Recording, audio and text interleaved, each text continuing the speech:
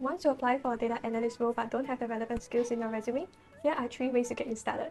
Firstly, learn practical skills such as SQL, Tableau, and Excel. Secondly, build a portfolio of practical projects. Or you can sign up for a program that covers both, such as Vertical Institute Data Analytics course. With this course, you'll be able to learn from experts at the top tech company, build capstone project with guidance, and best of all, no prior knowledge is needed. On top of that, there's up to 90% cost subsidies for Singaporeans until the 31st of December in 2022, and the balance fee are fully claimable using SkillsFuture credit. So what are you waiting for? Sign up today!